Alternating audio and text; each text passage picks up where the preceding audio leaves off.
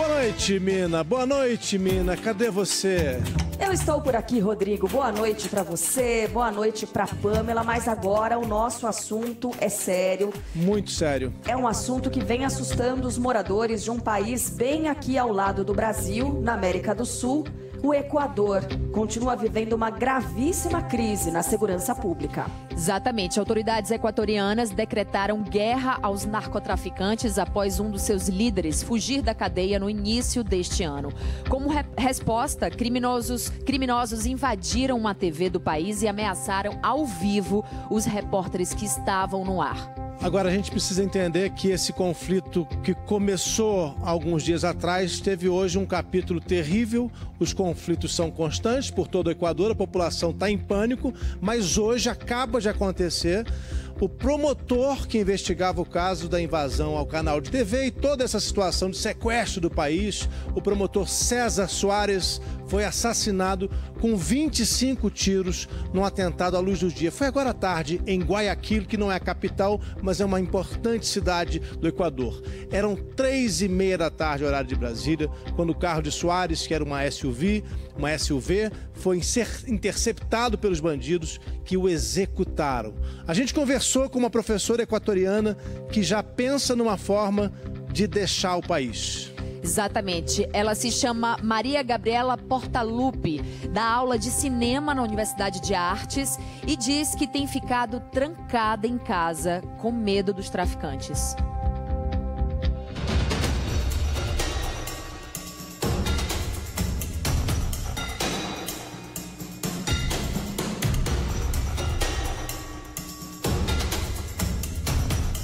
Qual é a situação hoje em Guayaquil? Guayaquil que não é a capital, mas é a maior cidade do Equador. Agora a cidade começou a estar mais movimentada. Na quarta, depois do que aconteceu na terça passada, é, eu moro no centro e ficou muito isolada. Guayaquil é uma cidade que tem muita movimentação, né? Tem muito comércio. Aos poucos ela foi se movimentando de novo. Por enquanto em Guayaquil todas as aulas foram suspensas. A gente foi para a virtualidade. Agora nesta época estamos em época de exame, temos que fazer tudo para virtual. É, não vamos voltar, vamos acabar esse semestre para ver como continua a situação. Também temos que lembrar que estamos no estado de exceção, então às 11 da noite ninguém pode estar na rua. 8 da noite parece uma cidade fantasma, lugares fecham muito cedo, as pessoas vão para casa, ficam resguardadas, né?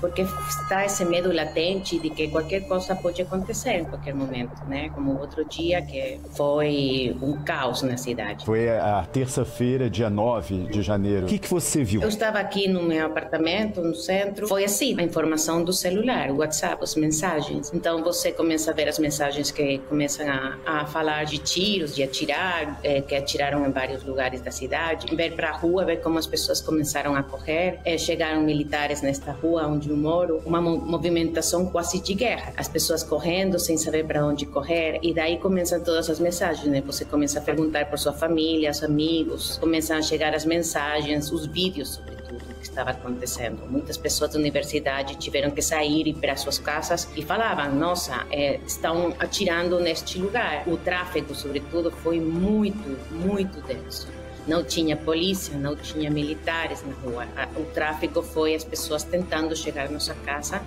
em meio dos tiros, né? Em vários pontos da cidade. É a primeira vez a gente sente esse tipo de medo. Tem acontecido antes várias coisas, sabe? Mas nunca no sentido de sentir eu posso morrer hoje, sabe? Eu posso andar na rua. Tem pessoas que morreram por causa disso. Estavam andando na rua e chegou um tiro para eles. Você pensa em sair daí? Tem muitas pessoas conhecidas que têm saído do país, que têm a situação, outros não têm a situação para sair. Na minha família, começamos a falar também de um planejamento planejamento de saída em caso de alguma ameaça de sequestro. Desde o ano passado, eu já comecei a pensar em sair de novo da cidade, mesmo que estava muito bem aqui, no sentido de ter trabalho, de ter um lugar onde morar, mas a violência ter se incrementado, né? Este tipo de caos cada vez vai ficando pior. Então, agora você fica com medo, o que vai acontecer? Você fica pensando, se o governo agora, pela primeira vez, faz uma ação contra eles, qual vai ser a vingança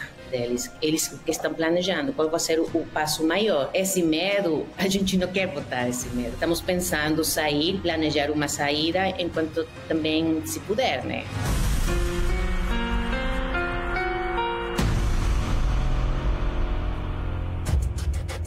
Para a gente ter uma ideia da gravidade do que está acontecendo no Equador, a gente tinha acabado de gravar a entrevista com a professora quando aconteceu o assassinato do promotor que investiga o caso de que ela estava falando para gente.